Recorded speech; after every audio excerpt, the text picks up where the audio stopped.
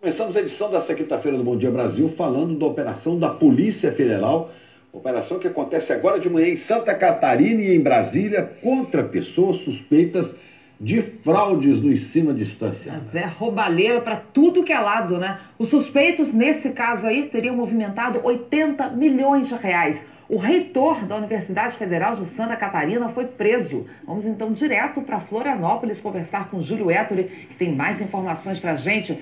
Oi, Júlio, bom dia.